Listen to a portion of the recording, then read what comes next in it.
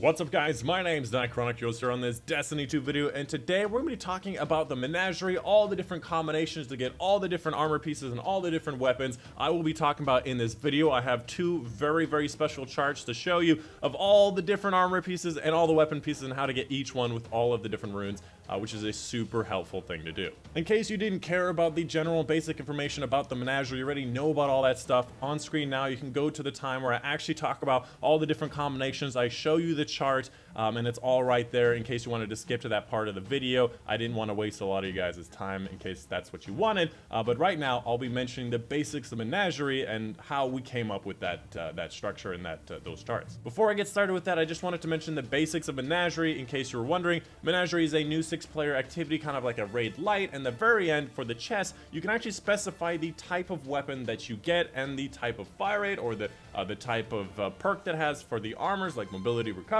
You can actually choose that and actually pick the type and what kind of role it has on those pieces, which is actually a really cool new feature. It helps a lot when leveling up. You can choose which kind of piece that you want and actually get that powerful gear for that slot, or specifically if you want to get some of the new gear like the new hand cannon, the new fusion rifle, you can actually choose that piece of gear and get it whenever you want. So the way this works is there's this new item in Pursuits called the Chalice. Once you start the DLC, you'll get it right away. You have three rune slots. The first slot will choose what kind of gear type you have, so like headpiece, arm piece, uh, SMG, whatnot. The second rune slot will select either the fire rate for weapons, so high fire rate, average fire rate, or low fire rate. Um, and for armor, it will select the kind of perk, so mobility, resilience, and recovery. So you can actually literally pick what you want and pick the roles for armors, pick which weapons you want to get out of it. You just have to know what is what. Now, to get this by yourself, you actually just have to look at collections. So go pull up the collections for the new DLC, the opulent stuff, and just look at what everything has. So if you want to get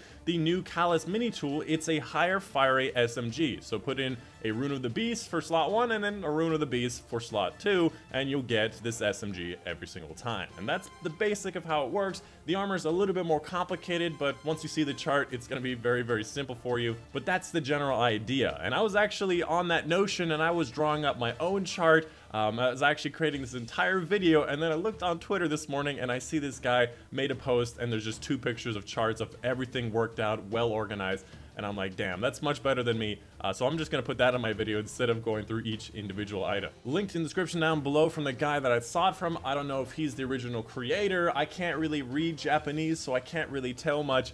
Um, but I'll have them in the link description down below. If you know if somebody else made it first, let me know in the comments. I'll be happy to add him to the description. Anyways, let's go ahead and get on to the chart. I realize that's the entire reason you're here. I just wanted to add some preface in the beginning because a lot of the stuff I was saying is important in case you wanted to know about that stuff and know about the menagerie. Uh, but on screen now will be the charts. Um, I can also include them on my Discord. Uh, so if you want to actually download those pictures, uh, go over to my Discord. In the description down below, you'll find a little Dorito symbol. Um, I'll post those pictures whenever I post my video over there. Um, and you can also download those pictures. These pictures are just they're really, really nice. You can see like the weapons and the armor. It's easy to tell. There's the names, there's the pictures.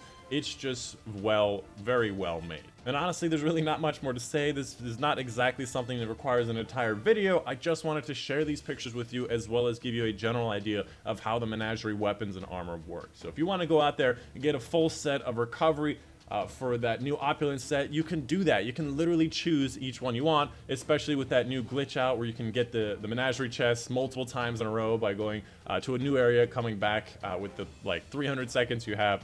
Uh, you can do that and you can literally get everything that you possibly want. But that's it. That's the end of the video. Hope you guys did enjoy. Let me know in the comments down below if you have any questions. My name name's Dychronic, and I will see you guys on the next one.